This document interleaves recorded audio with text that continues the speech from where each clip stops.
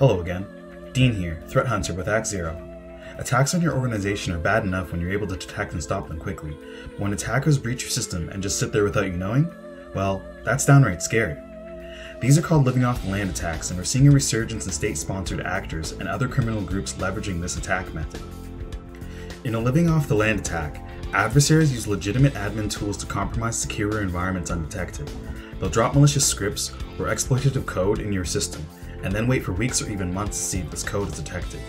If not, they'll know they're free to continue their attack. Unfortunately, firewalls and antivirus won't find living off the land attacks, so how can you mitigate your risk? Well, here are three ways. First, IT admins can start by implementing some partial detections. Use application control to prevent misuse of system tools. Set software restrictions on each device to prevent things from running in places they shouldn't. And implement rigid endpoint configuration and management. Use endpoint behavior detection tools to block attacks. Second, when it comes to detections, identifying user anomalies, like suspicious non admin user behavior, setting up a threat detection solution is critical.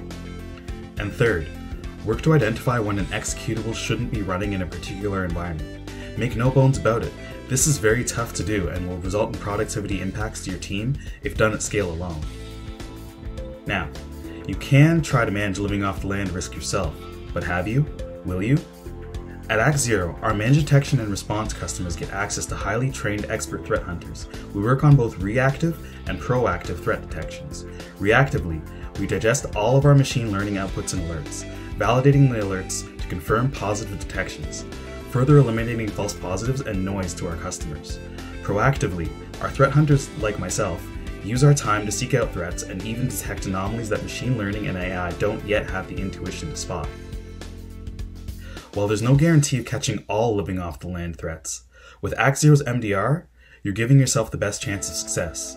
To learn more about Zero's MDR services and how we help mitigate living off the land risk, click on the link included in this post. This is Dean, Threat Hunter at Zero, signing off. And remember, do your part, stay cyber smart.